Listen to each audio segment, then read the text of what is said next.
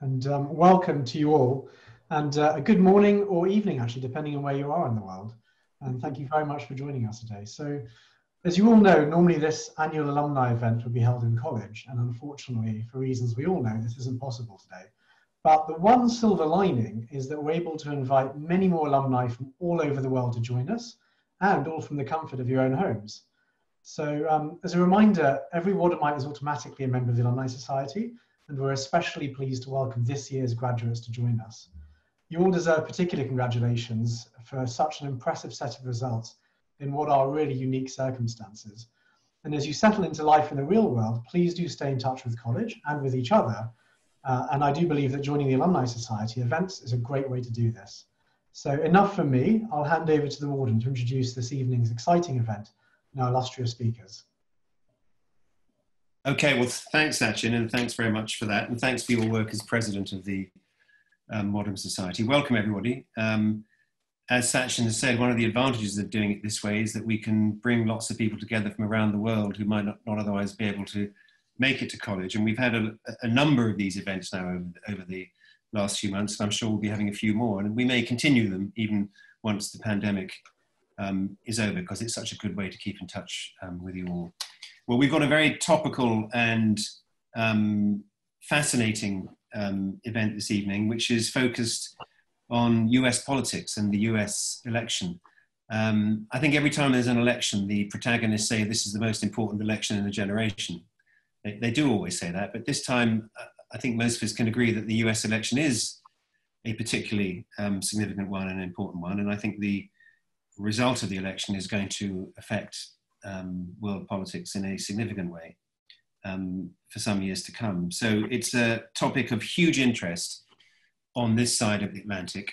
Um, and we've got two fantastic guests um, to speak uh, tonight about this. Both are going to give a brief in, introduction, and then we're going to, um, at an early stage in the proceedings, throw it open to the floor for questions, because I think that's usually a, a, a, very vibrant part of these events. Um, you will get involved yourselves. Let me just briefly introduce uh, our, our, two guests this, this evening. Um, both uh, alums. Uh, James Warlick is managing director of an international law firm in Washington, Egorov, uh, Puginsky, Afanasiev, and Partners. And he also serves as president and CEO of Juno Global Strategies uh, in DC.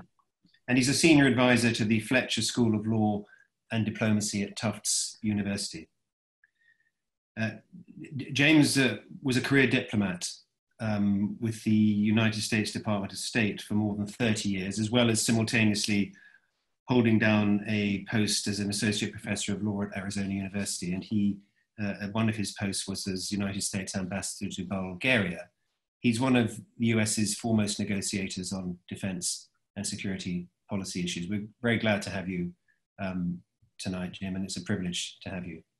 Thank you. Uh, Lissa Muscatine is a dear friend of the college who's done many events for us over the years, both uh, in Wadham, um, online, and uh, at a famous bookshop, um, Politics and Prose, in Washington.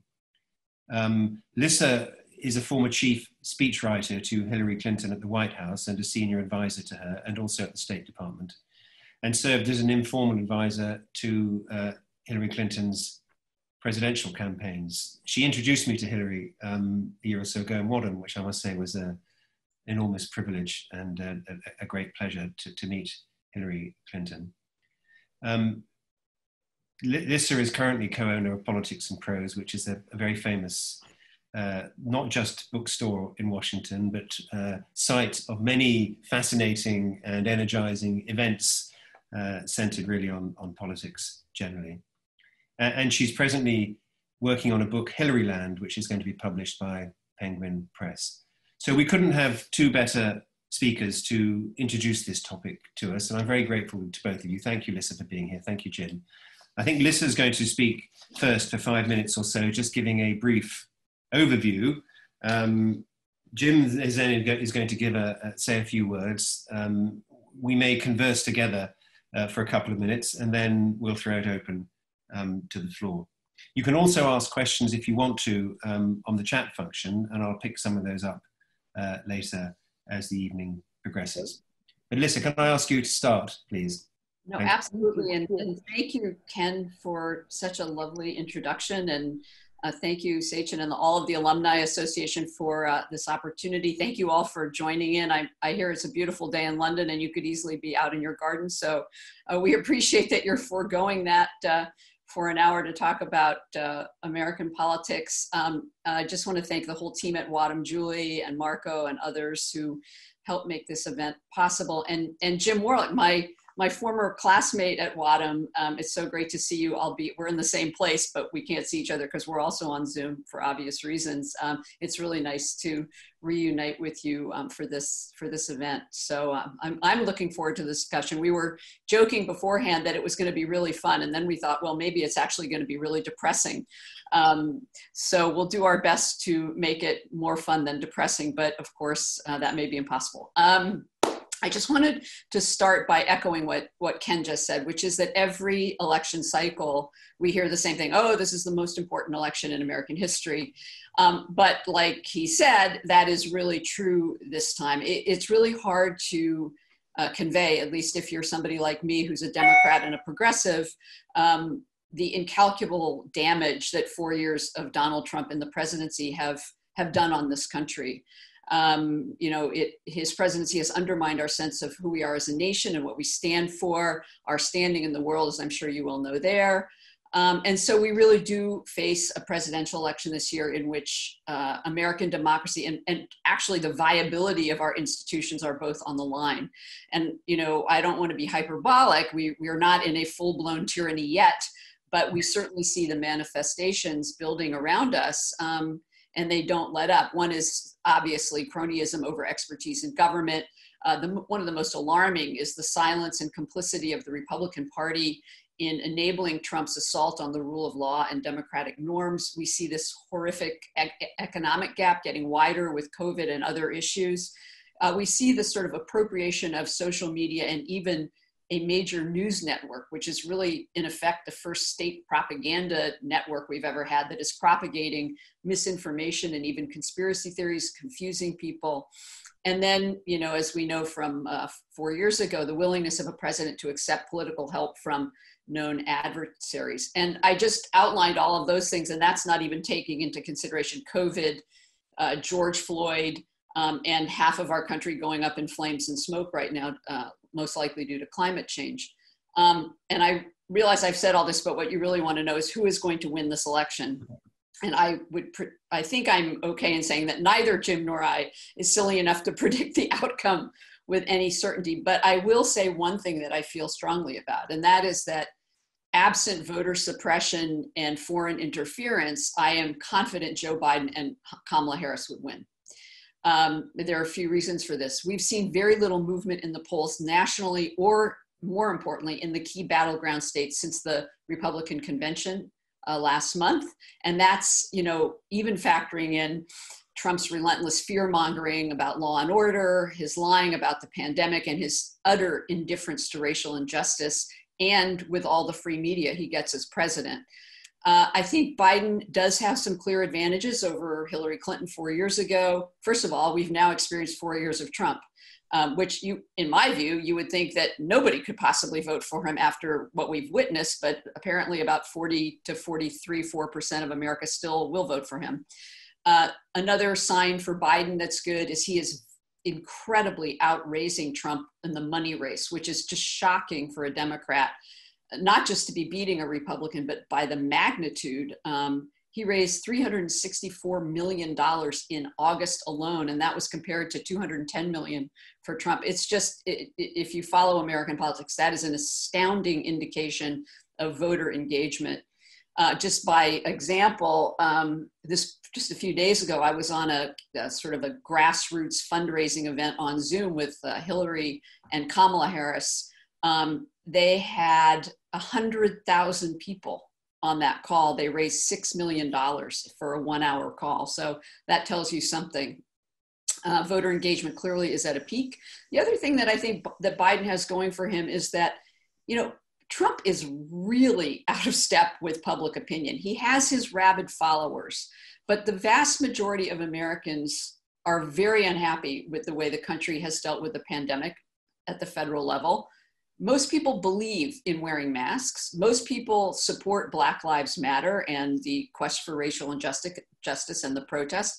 And I think most people believe that climate change is a urgent global problem and we see the West Coast going up in flames. It reinforces that.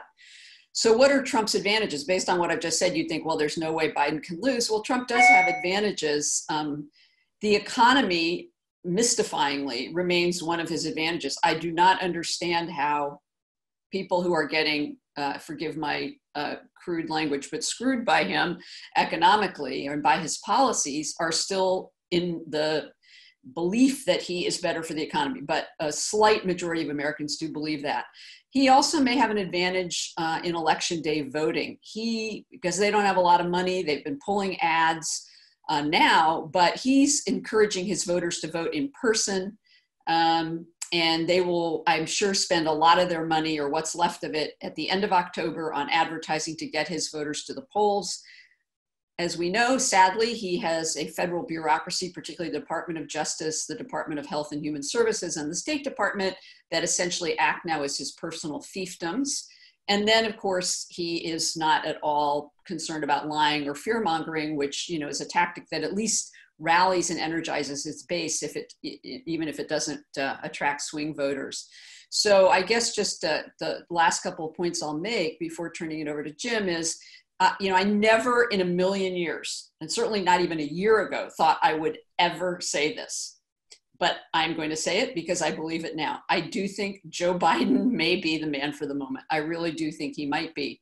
Obviously, the debates in a couple weeks are going to be decisive, but the truth is there are very few undecided voters at this point, and so much of this victory will depend on turnout. Um, there are a lot of advantages for the Democrats in that, but the Republican Party controls more state governments and they are working overtime to suppress the vote. We know that from Trump's efforts to undermine the Postal Service and to uh, attack mail in voting. Um, so I think it's, you know, it's, it's, if it's a fair election, as I said, if people are allowed to vote, I think Biden and Harris win without a doubt. But I think there's so many other caveats and concerns that I would not make that prediction right now with, with a great degree of confidence. Um, but I am, I'll, when Jim is talking, I'll get back to praying for a good outcome. Thank you very much, Lisa. Thank you. That's, that's really interesting. Jim. Well, thank you very much. I'm, I'm so glad to be back in college, even if it's only virtually.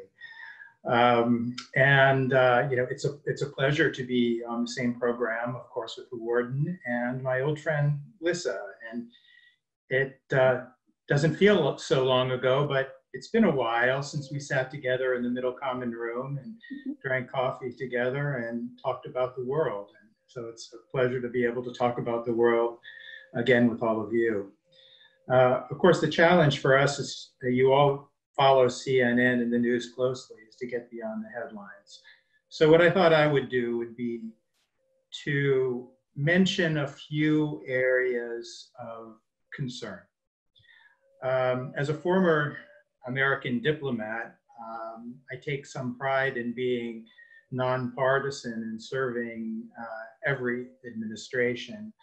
Uh, I have to say that it's been difficult uh, for myself and for many of my colleagues and former colleagues in this administration, and I want to come back to that. But first, I want to talk a little bit about just why we need to worry about uh, the outcome of of, of, of this uh, election, particularly if you're a, a Biden Harris supporter. Um, from inside the Beltway, uh, from Washington, D.C., or, or uh, New York City, it certainly seems like Biden and Harris have everything going for them, including uh, strong poll numbers from around the country but that doesn't necessarily reflect the results of uh, election. And I'd just like to mention three, three issues in particular that we should keep an eye on. The first, and these are all, these are, these are all coming directly from President Trump. The first is, the first is law and order. Um, believe me that there are people in the United States and not in Washington, D.C., that are extremely concerned about what's happening around the United States. Uh, it has to do with the police. It has to do with law and order in, in cities. Uh, from Washington, D.C., it doesn't seem like that serious an issue. But the president is making it a serious one and, and saying that a Biden administration would result in chaos. And those are his words uh, uh, around the country. And you've perhaps heard him talk about, you know, chaos in, in the suburbs, that you're no longer safe. It seems like a silly argument, doesn't it? But um, my family is in Wisconsin, and uh, they're good Democrats. They have been uh, union members, God fearing. Uh, they wouldn't have admitted before the election, but I think that they voted uh, for Trump.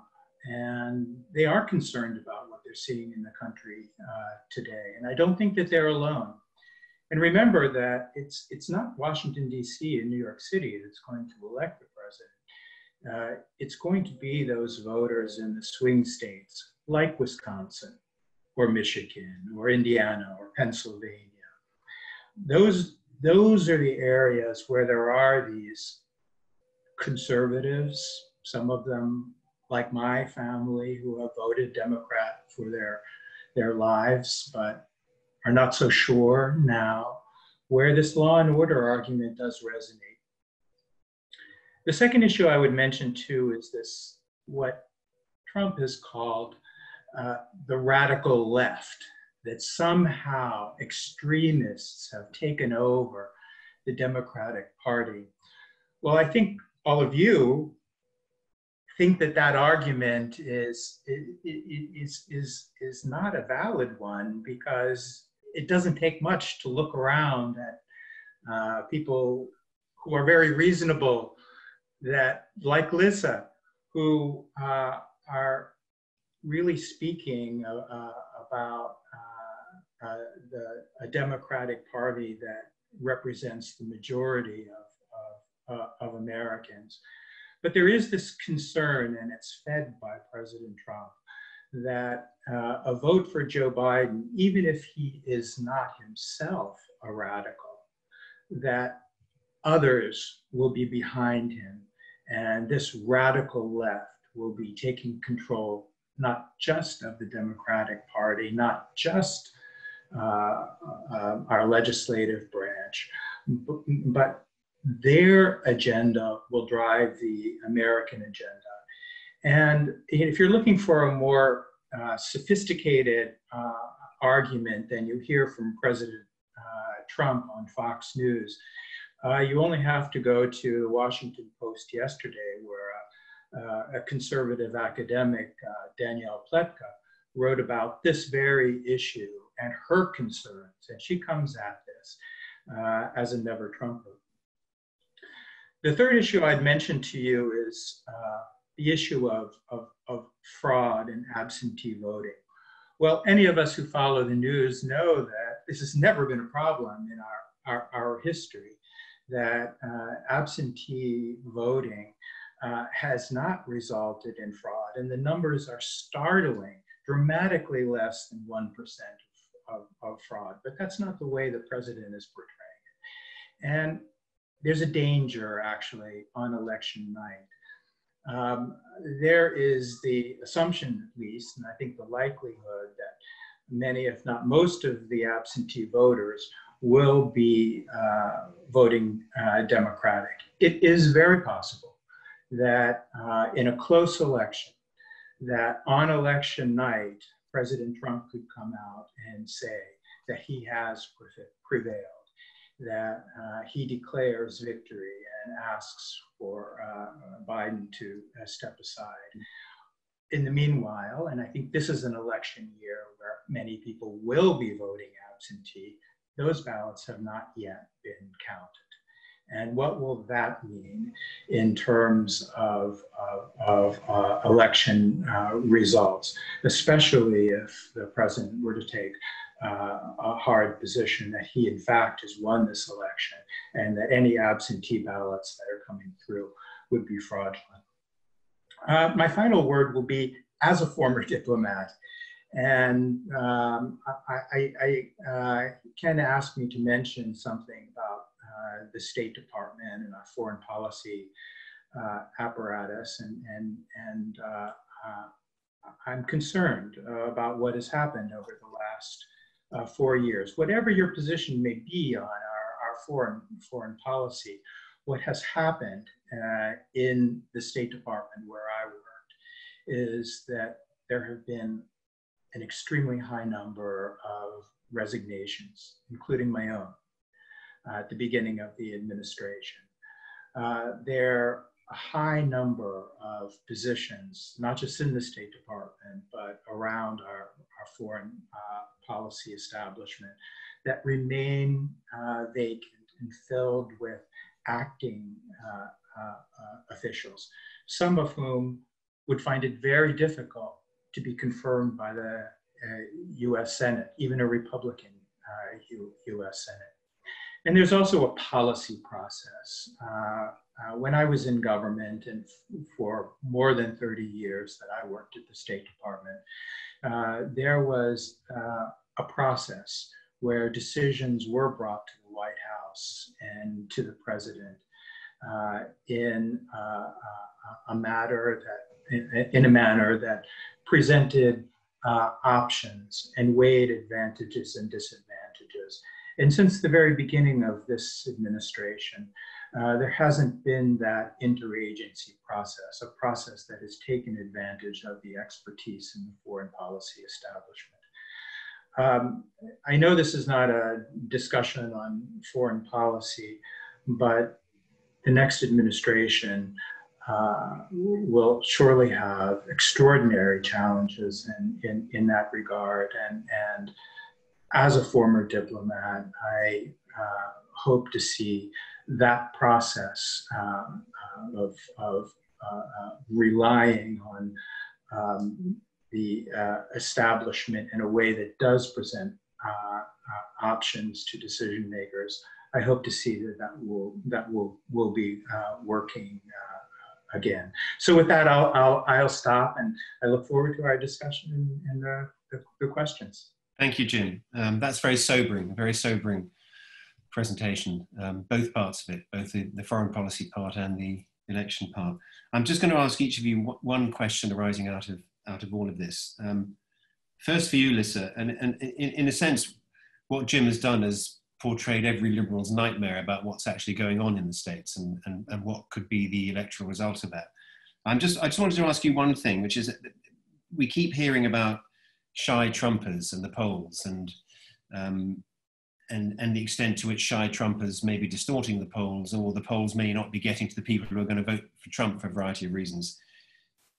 The, the pollsters are now saying, "Oh no, no, we've learnt our lessons from 2016. We now get to the we get to the Trump voters. You know, we're not we're not. There's no shy Trumper effect this time. There won't be. Do, do you buy that?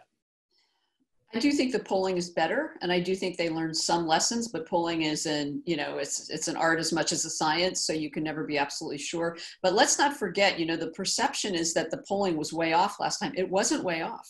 Mm-hmm. It was it within the margin of error. So you know they weren't that far off saying that Hillary would win. They just the mar you know it was it ended up being a, a question of the margin switching. Um, I do. I'm sure there are Trump people who are embarrassed to say to a polling person that they're going to vote for Trump. I, I think the most important thing with polling is always to look at likely voters, not registered voters, um, or not just random people. If you look at likely voters, Biden's maintain is Biden's lead is holding up in almost all of the swing states. I mean, he's ahead in the swing states that Trump won. Again, I don't think it's going to come down to swing voters. I think it's going to be about turnout there are more Democrats than Republicans. Independents have shifted away from Trump. Suburban women have shifted away from Trump, suburban white women. Um, and older people in key states like Florida have shifted away from Trump, at least enough, it seems, if Biden can maintain it to help give Biden the victory. Um, but you know, there's always that outlier. Uh, I, you know, you can you can you can cast it a lot of different ways. Ken, there there are also a, a lot of stories about uh, you know, the people who voted for Trump thinking, oh, Hillary's going to win anyway, but I don't like her. I'm just going to vote for him and give him a chance. He's something different, who now are like, oh my God, what did I do? Um, and then there are the the the uh, people like uh, the, the the woman from the American Enterprise Institute that Jim referenced, uh, who wrote yesterday in the Washington Post about how she's just so worried about a leftward tilt of the Democratic Party under Biden because Biden is old, and you know, but the idea that they can succeed in portraying Kamala Harris as a radical or some of the other people around him, and it, it, it's it's preposterous. And I'm actually, frankly, shocked that a woman of that intelligence and and background could fall for that. I mean, it just seems odd to me. I don't know her, but um, so I don't know. I mean, yes, there probably will be covert Trump supporters. Will they be enough to tip an election? I, I'm doubtful. Okay, Jim, just just just just just one question for you before we we open it up, um, and it's on this question of mail-in voting. So it sounds as though a lot of the Republican leadership in Congress are tearing their hair out at this this um, policy that Trump's pursuing of trashing mail in voting because they fear it's going to suppress the Republican mail in vote. And that overall, although more of his people are likely to vote in person, if the mail in vote is suppressed, that will damage his prospects and indeed their prospects in the, in the Senate and congressional races. Do you think there's any force in that? They seem to be concerned about it. Um, let me first come back to a few things that Lisa, Lissa said before we talk about mail-in voting. I frankly am worried. Uh, uh, I think that what uh, the, the danger that we're going to see, we know that uh, Trump supporters are going to come out. Uh, they are, his base is as strong as, as, as ever. And we've seen over the last four years that he can maintain that base of 40%, 40% plus uh, or minus. And there is no question, if Democrats turn out at, at the polls, Biden and Harris will win. But are they going to turn out? And don't forget, we have this this the, the COVID factor. Are they going to take the time to send in their absentee ballots? Are they going to take the risk to go out and, and go to their local uh, polling uh, place? If they do, I agree with Lissa that I think that there will be a Biden Harris victory. The numbers are, are, are, are there for them. My concern is if they don't turn out, and especially in the swing states where there are committed Republican voters, that they will turn they will turn out and they will not be deterred uh, by uh, COVID. And could that make the difference uh, in the uh, election? And I'm not so sure about the polls. Uh, yes, within a margin of error four years uh, ago, but I think it raised suspicions among all of us. Are there those those those, those voters uh, out there? You know, on the law and order argument that I that that I made, uh, we you know we can look back uh, uh, in history, in particular to Richard Nixon, uh, who, if you recall, was elected twice on the law and order platform, and he talked about the silent majority, and you know at the time it certainly seemed that that you know, his rival that first time was Hubert Humphrey, had an enormous degree of support. Uh, in fact, there was a silent majority out there, and they did turn out and they, they, they vote, voted for him. I think on absentee uh, uh, uh voting, you know, I, I, I, I, think that what we're hearing in the media is uh, correct. I think the numbers are going to be high. I think that there will be uh, a higher percentage of Democrats than Republicans who turn out.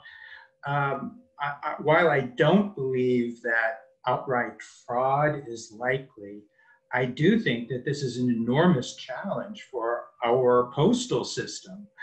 That if there is a high turnout and, and these ballots in the millions need to come in and and, and be counted. It starts with our postal system being able to do its job, and then a method of counting them and those kinds of numbers that will take time.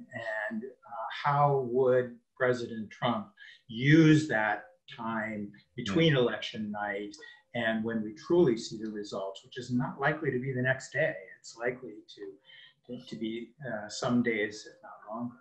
well, it's a it's a nightmarish prospect, frankly. And I think one one thing that one one can say with confidence is that he'll use the time to behave badly, and what the consequence of that will be is another matter. Okay, I think we better now throw this open to the audience. Um, when you when you speak, before you speak, could you just in, introduce yourself and tell us when you were at Wadham and, and what subject you studied? Um, and the first question is from Lynn Davis. Lynn, are you with us? Make sure you're not muted. You're, you're muted at the moment. Unmute. Wonderful. Okay, can you hear now? Yeah, we can, yeah. Great. Okay, so um, I uh, uh, matriculated autumn in 1997 in biochemistry, and I currently run an international partnership um, which is focused on cancer research internationally. Okay. And we're looking at trying to connect up all of the cancer research organizations internationally fund cancer research and encourage them to work together um, to ensure that we're making the best possible um, outcome for research patients internationally. So I was really interested by the discussion here and um, whether any of those speakers had insight in terms of what they felt going to be um, interesting or a, potential um, outcome for research in uh, Donald Trump's campaign. So Joe Biden, as we all know, has been really supportive of the moonshots in cancer research, and Donald Trump has not been. So do you feel that there's, uh, you know, is science going to be a significant marker in the coming election or not? So what, what's, the, what's the role that the candidates take on science and the importance of science? What role is that likely to have in this election? In terms of well, the Scientific American uh, magazine, for the first time in its history, I saw that. has endorsed Biden for president on the basis of Trump's complete complete uh, disregard for science and expertise and impartial facts and evidence in the use of both research and also you know analysis and everything else as we know we know it from a lot of different ways but we certainly have seen it with the pandemic. So uh, you know the, i'm sure the vast majority of the scientific and medical communities um, are supporting biden for that reason. Biden of course is also believes in climate change and trump is a climate denier even in the midst of uh, the West Coast burning to smithereens. Um, you know, and and the you know first sign of that, of course, was Trump's his initial and continuing assault on the Affordable Care Act, uh, even during a pandemic. So I think there's no doubt that that is one of the biggest differences between the two of them. Um, I, can I just add one quick thing to what Jim was saying before about the turnout? I want to just point out that in 2016 there was a third party candidate, Jill Stein, who actually did some damage to Hillary Clinton, and turnout was incredibly low. Hillary did not generate a lot of enthusiasm. This time, if you look at, if you're interested in assessing or trying to predict turnout, one of the things you look at is voter engagement since the last presidential election in the cycle. Usually it goes way down after a presidential election, not to come back up really till the next one. And what pollsters are seeing is massive voter engagement remaining at almost presidential levels this entire uh, for years. And we've seen that in the 2018 election turnouts, which of course propelled this huge uh, Democratic victories in the in Congress.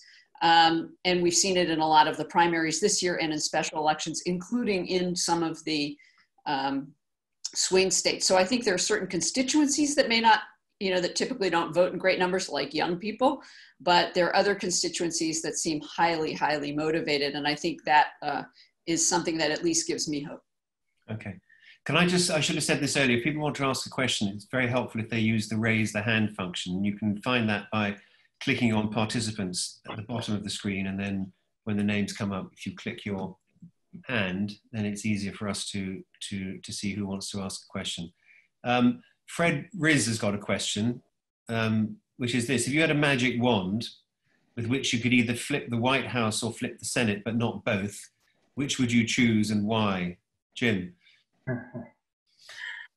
Uh, if only, right? Um, no, I think that that this is a, a unique situation in American history where uh, a president has inordinate influence uh, uh, on, uh, on his uh, party and on politics.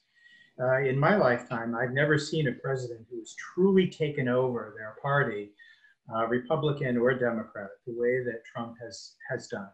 In fact, if Trump is defeated in this election, the Republican Party will have to do some serious soul searching about what they are. Who are they? Because they are not the party uh, that you know we remember from more than four year, years uh, ago. And you can go down that long list of issues uh, where uh, the Trump uh, uh, imprimatur has taken the party by storm. And you can see that, that even within the party, he really has no rivals. Uh, once he disappears from uh, the scene, uh, whether it's soon or whether it's four years from now, who does that leave in the uh, in the party to define the future? And uh, it's uh, it, it's problematic. So my short answer is the White House. Okay, Lisa, which would you flip, the White House or, or the Senate?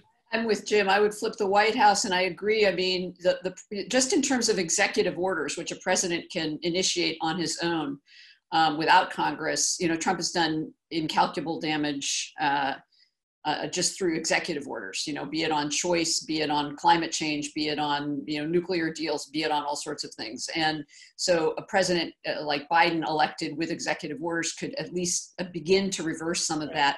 In terms of the Republican Party uh, I do think that Trumpism is going to survive beyond Trump, sadly. And I think it's going to sadly, even more shockingly and terrifyingly, be in the personages of Donald, of Donald Trump Jr.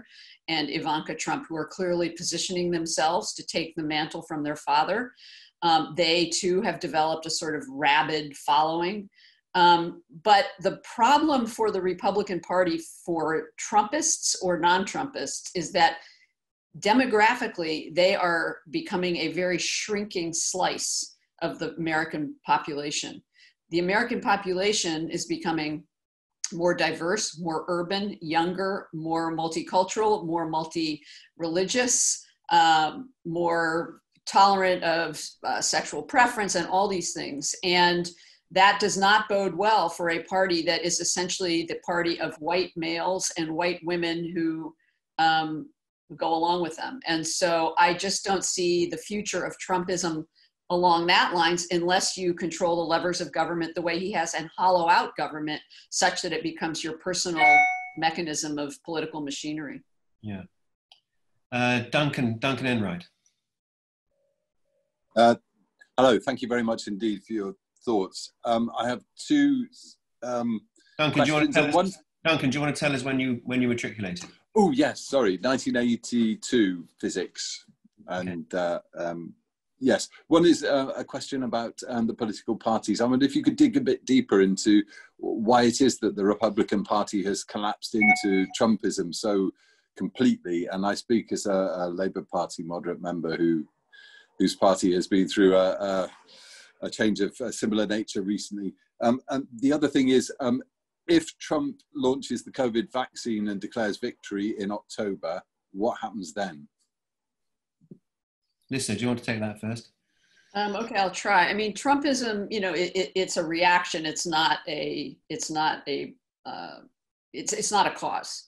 It's a reaction that's been building since the 1980s with Reagan, um, when uh, I mean Reagan was not you know crazy like Trump is for sure, and he obviously has a huge uh, popular following. But um, the Republican Party really gained a lot of steam then, and the Republican Party started in 1964 with the Johnson Goldwater election to retool itself. And what it did was some very, very, very wealthy philanthropists who are very conservative, uh, right wing philanthropists. Uh, really got together and decided to begin financing uh, different ways of cultivating Republican support, be it in state governments and local governments, in law schools, in in uh, the media. So there were suddenly, you know, radio stations that had a, a bent. There were uh, law schools where uh, endowed chairs for more conservative faculty were were put in, and it took about 40 years, but it really worked. And so the Republican Party philosophy got disseminated and diffused throughout a lot of institutions in the American sort of political ecosystem.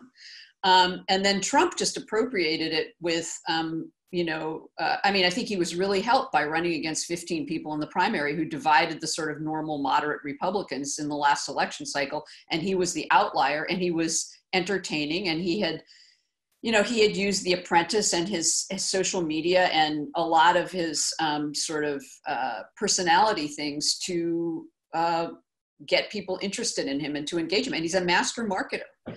And that's essentially how he got in. I think people in his party were shocked. And then because he absolutely does not subscribe to any political norms, I think his party was afraid of him. And so the Mitch McConnells of the world decided it was better to go along with him to go against him because then he'd sic his you know rabid followers on you through social media. And believe me a lot of people have suffered from that. Look at the people who have challenged him in government you know who get trolled and harassed and have death threats including members of his own administration who leave or or disagree with him. So it's kind of you know it's bully tactics and it works and so i think that's the quick explanation okay i would add to that you know, the Republican Party really lacks leadership. Uh, who, who is who is there? I mean, they they they tried, you know, Rubio, Cruz, others four years ago. Who is it that's young that's going to speak for the for for the party? There are some people out there. Tom Cotton from uh, Arkansas, extreme conservative. Uh, I don't believe that he represents the, the future. Uh, ben Sasse from Nebraska. Uh, there are people who are out there, but the question is, uh, for now at least, Trump's taken all of the air out of the room. There's there's not space for uh, uh, leaders to uh, emerge that uh, could be appealing to a broader cross section of the American uh, public. You know, in, in, in with regard, um, Duncan, to your to your the second part of your question, you know, if I wouldn't be surprised if there is an announcement about a, a, a, vac, a vaccine and uh, um, on the eve of the uh, election. But I think you've got to give the American voter a little more credit. Um, I, I, I, don't believe that, that Americans are, are, are going to stand up and, and, and applaud Trump is the, the savior because he can make that announcement uh, days or weeks before uh, uh, the, the, the election. I think, if anything, people are going to be cautious and careful about uh, that vaccine whenever okay. it comes comes through. Okay, um, Jane Wanacott, have you got a, you've got a question? I think. Sorry, I don't. That was a mistake. Oh, okay. right. Um, Graham Coles. Hi, Modern History in 1975. I'd like to know, sharing the concerns about the prospects of four more years of Trump, what is it that the Democrat Party sees in Trump that makes it think that the person to beat him is Biden? Okay, well, that's going straight isn't it? Now, it's interesting because, Lisa, a moment ago you said that you'd never thought you'd say this, but now you begin to think he might be the man of the moment. I've heard a lot of people say that, that, that somehow he has, for whatever reason, turned out to be the right person to take on this battle. Do you want to expand on that a bit? Yeah, I I think if you look at the the constituencies that the Democrats have to win, one of them being the white working class, Biden is a really good messenger to that group. Um, he is from that uh, cohort himself. Um, sure, he's been in Washington for a long time, but he really, you know, his big thing is how he's empathetic and he identifies and he's been through a lot of adversity, as I'm sure all of you know himself, and is quite moving uh, when he speaks about it. You know, he's often uh, chided, and of course, Trump is trying to make him into some senile, doddering, crazy person. And I have to admit, when he was about to give his campaigns, his uh, convention speech, you know, I think I, like zillions of Democrats across the country, were just hoping he didn't do something embarrassing. But you know, he he also has had a lifelong stutter. And I do think some of his verbal gaffes and slip ups are related to stumbling over words, actually, because of that that um, disability. And so he does, though, have a kind of humanness and a em- empathy and compassion um, that I think a lot of people are looking for because they are exhausted by Trump's hatefulness, his his desire to divide, his lack of empathy, his lack of compassion. Um, and so to me, he's sort of the exact antithesis of Trump. Um, and I think that's a good thing. You know, there are a lot of people, not a lot of voters who will be voting against Trump, but without enthusiasm, not for uh, Biden because they're enthusiastic about who Biden is and, and, and what he stands for. And I agree with Liz, uh, you know, people are tired. Uh, a lot of people are, are tired at the way that they have seen uh, America run over the last uh, four years. And you compound that with um, the troubles that we've had in 2020. And uh, um, I, I, I, think that Biden can, can capitalize. Hello? Can you hear me? Okay, so can I just ask you this, Jim? Who was your favorite Democrat Hello? primary candidate? Are you asking me? Well, I'm asking Jim first, then I, then I was oh, going to ask you, Lisa. Ahead, I, was going to, I was going to come to you. You know, I was, uh, uh, yeah, I've always been a, a strong, uh, I've had a strong feeling for Kamala because uh, um, I, I, think that uh, she has an awful lot to offer uh, for the Democratic Party. Um, I, am not sure that that she she would have had the kind of base needed to uh, challenge a strong Republican. Mm. Uh, but she brings an awful lot to the ticket now. Uh, and she was the right choice. And, and uh, uh, I thought for a, a, long time her background, and, and not only as a woman of color, but her background is, is, is an impressive one. Uh, okay. So I think she does add today a lot to the ticket. Okay. Lisa, who was your favorite? Yeah, I, I I've always really liked Kamala Harris. Um, I got to know her a little bit right after she came to the Senate, so I've been in some small gatherings with her. Really impressed by her. Um, I love her background, all the things that Jim said. I think she's adding incredible dynamism and energy to this ticket. Anybody who watched her grill Bill Barr and grill uh, Brett Kavanaugh during the Judiciary Committee hearings knows how tough she is and yet how uh, kind of composed she is, which is great. Um, so I really liked her all along. But I have to say, I got really irritated with people said, "Oh my God, this Democratic field." I thought they were all fabulous. I would have been happy with any of them, pretty much. I mean, not Tulsi Gabbard and not you know a few of the outliers, but you know the Pete Buttigieg's and Amy Klobuchar's and Elizabeth Warren's. Sure, they have ideological differences, but they're very much uh, you know motivated by the same things i think. And so i think we were lucky in that respect. And the fact that biden ended up getting it was thanks to black voters and jim clyburn. That's yeah. really important. That is necessary for a democrat to win. And it's one of the reasons i'm sure kamala harris is on the ticket apart from the fact that she's qualified without that. But um, yeah I'm, I'm, I, I really like her. Okay. Hillary davis hillary you are you muted? Sorry, you've just you've just answered my question. I was going to ask about Kamala Harris. I was, oh, okay. ask, I was, okay. going to ask both of you what you what you thought about her. So okay. thank you very much. um, Kenneth Woods.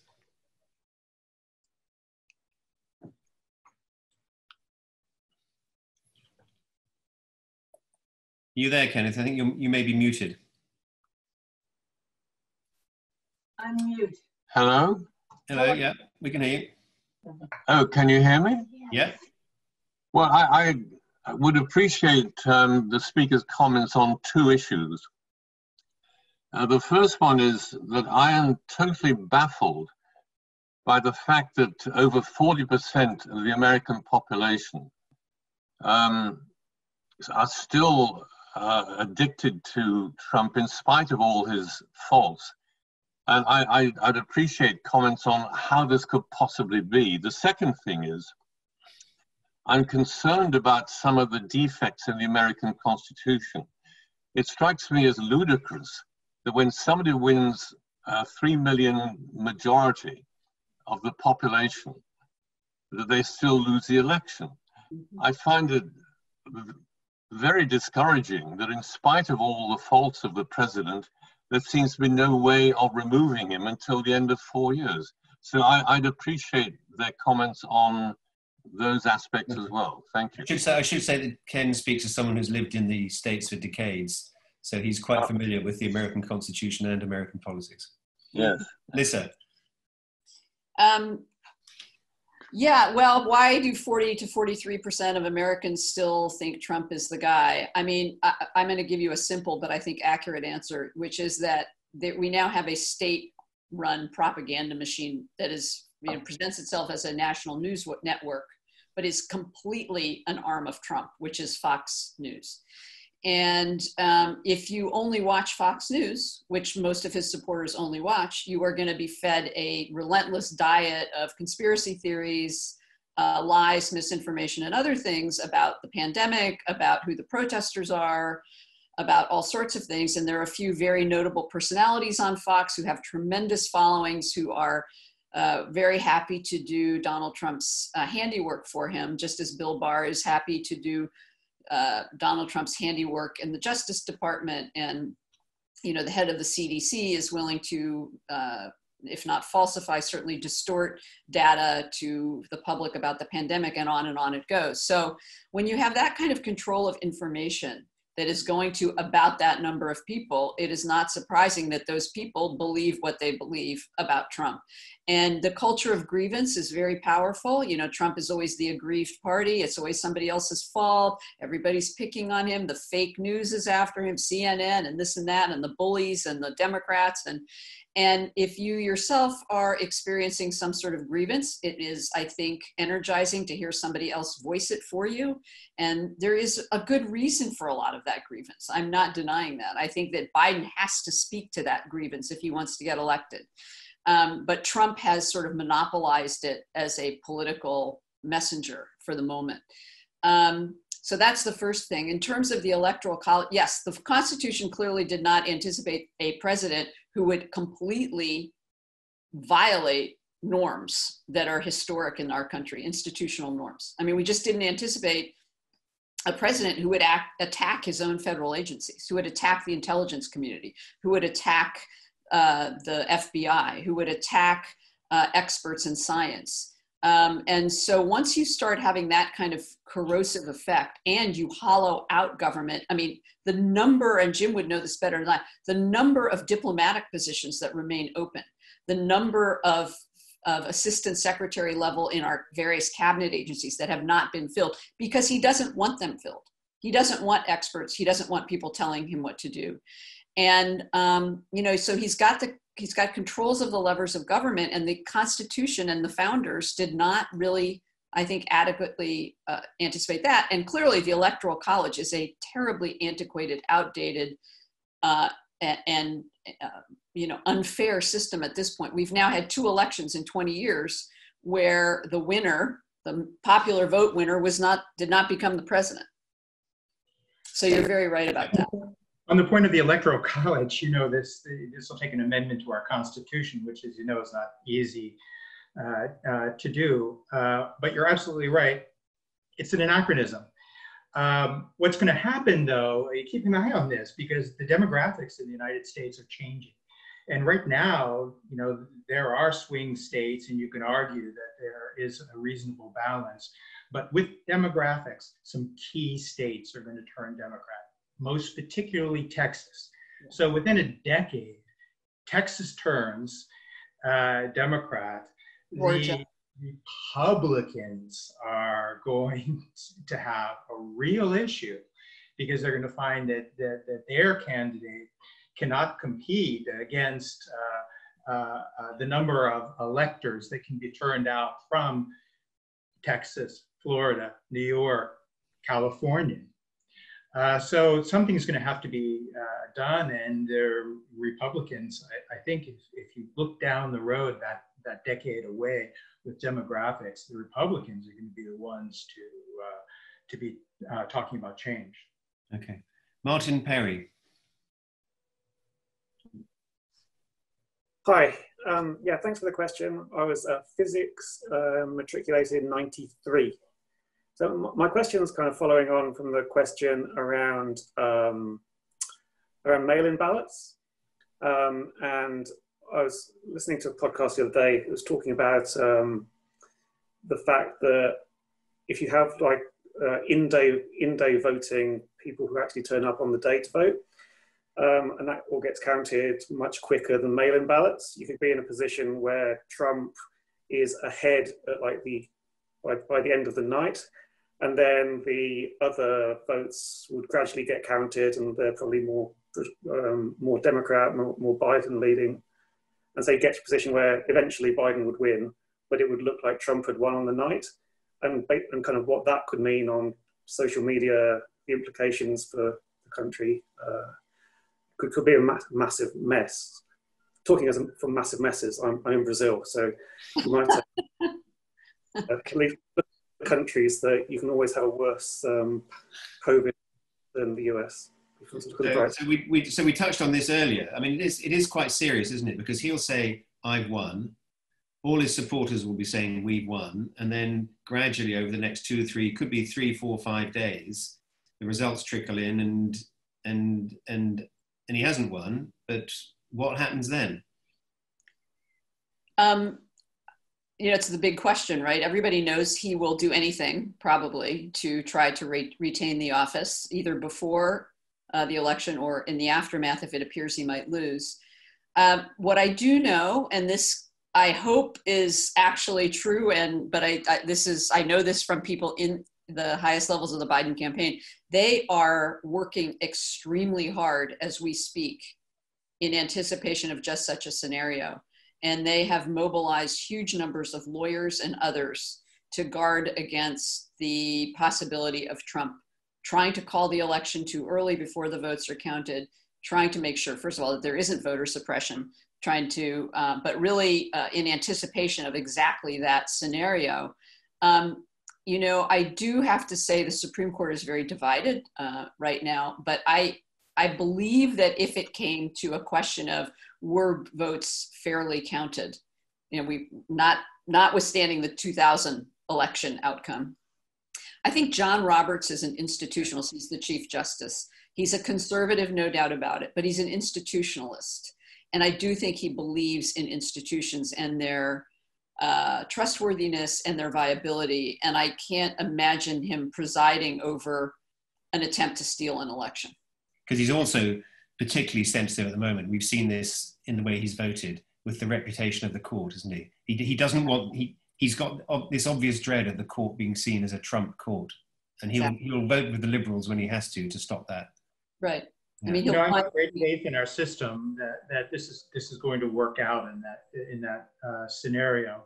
But I am concerned when I see uh, reports, which you may have seen in the news just yesterday, a senior government uh, uh official who uh, from the Department of Health and Human Services, who came out and, and said uh, that citizens need to arm themselves and have enough ammunition. Now, I'm not suggest, suggesting you know wide civil unrest, but I am concerned uh, uh, uh, uh about that there are people out there uh, like like this uh, in the United States, and I I, I do worry about the, the, the kind of chaos that uh, you know could be created by uh, uh, an extended period where we're not sure and Trump is claiming victory. Yeah. Can well, I, I add one? So yes, please. I, yeah. One quick thing. You know, we also know that there are a lot of outside agitators using social media on both extremes um, to, to, to create disruption.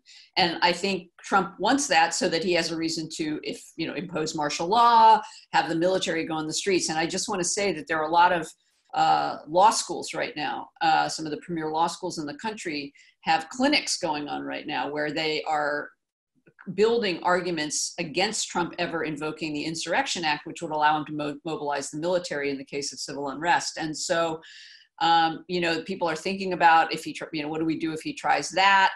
Um, and the one, you know, sliver of hope is that uh, when he did his little, you know, dance across Lafayette Square to, with the Bible holding in front of the church, and he had the generals with him, um, they you know they pulled back from that they got a lot of grief from other military members the military and trump are not in the greatest sync right now and so the idea that he could mobilize the military i think is a, kind of a fraught idea i hope Okay, so we, we, we really need to draw to a close very soon because it's after seven. I think we've got time for two more, so long as the questions are quite short. So I'm just going to take them in the strict order in which they were they were asked. So first of all, um, uh, David Levin. Hi there. Um, thanks very much, David Levin, uh, PPE uh, 1980, uh, live in New York City, um, and uh, um, I'm traumatized at the prospect of uh, any any uh, Trump Trump subverting and, and taking the next turn. But I want to say um, I'm shocked at the certainty that people have been articulating that there's sort of this idiot center of America which is voting for Trump and somehow they've just been misled by Fox News. Um, I work in Arizona, I work in Texas. Um, uh, these are decent people, they're not um, idiots, and they feel alienated, left behind, and isolated. And I think one of the reasons that the Hillary campaign lost the last election was that sense of just ignoring these folk. Um, so, two questions. One is in this whole debate, we've not used the word economics once and whoever's um, it's it's going to be a consequence rather than a uh, an, an, output of this election is going to be the the massive economic uh, turn, and the second is psychology. We've got this massive divide. Is there any way that the either of the speakers think that it can be healed? Because it's much more polarized than Britain, much much more polarized. Okay, so if we have relatively brief, I mean, those are big questions, but if we have relatively brief answers, we'll be able to get to one more question. Um, who wants to start? Jim, do you want to start? David, I would agree with you actually that, uh, you know, I, I, do believe that there are a lot of people who are fed up with Washington. Uh, this message of, of, of, draining the swamp uh, did have a lot of resonance four years ago and still does with a, a lot of people. I started off my comment saying, you know, I have family uh, in uh, Wisconsin, and I honestly don't know how they're going to to to vote. and you know these are these are good people, and I started off with the argument about law and order there are people who are truly concerned when they see what's happening in a place like uh, uh, Portland. These are, you know, good Americans who don't want to see their, their that kind of, of, of, chaos on the streets. And I, I, you know, I can't say that this is 40 or 45 percent of the population, or that he's really going to command that kind of, uh, of, of, of, a vote. But you're right. There's a significant portion of the, the pop population who we just don't seem to understand in Washington and, and, and New York, I suppose, who uh, believe in Trump. Uh, strangely, that he is the outsider coming in to drain the swamp and change things. Listen. Yeah, no, I mean, I just, I will say, first of all, I think I did refer, I tried to refer to the idea that Trump was winning on the economy, and that is an incredibly important issue to people. And also that, uh, and, and, I apologize if I was trying to say that people are idiots if, if for watching Fox News. But I do think there is a, a propaganda machine at work that does disseminate misinformation that people then appropriate, not because they're stupid, because that's all they're hearing. And he has tapped into a culture of grievance. And as, as I said earlier, that grievance, which is among the working class, is legitimate.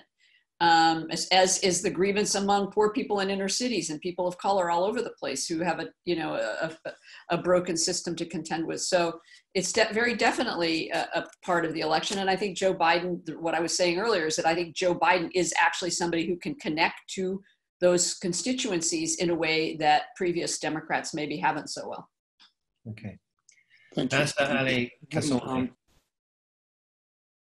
Uh, thank you. Um, so, uh, 1989, matriculation year, uh, studied law at Wadham.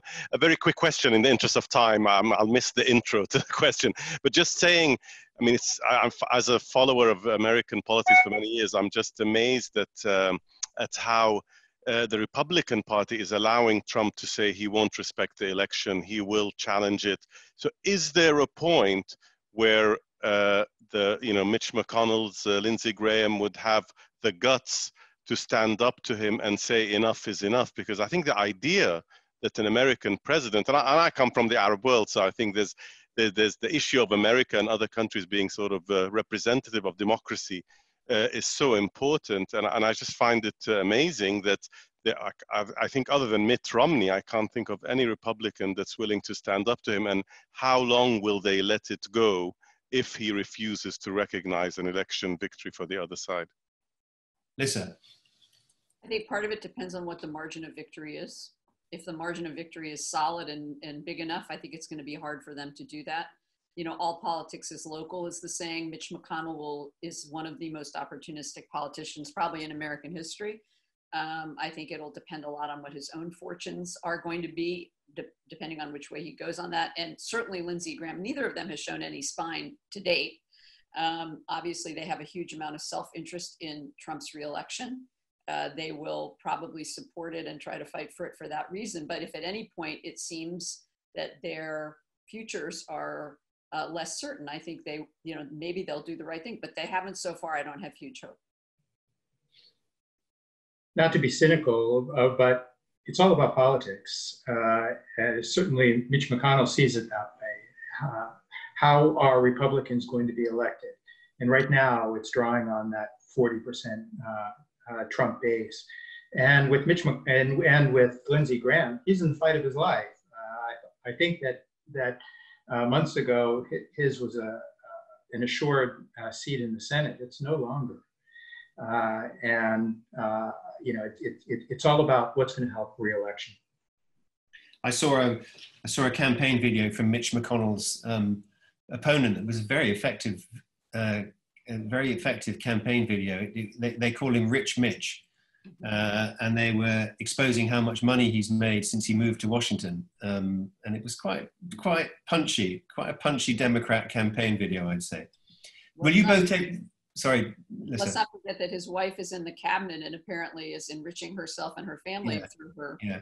Cabinet. Will you both? Will you? Will you both take one more? Just one final question. Oh yeah, sure. Okay, so Layla Roberts wants to ask a question.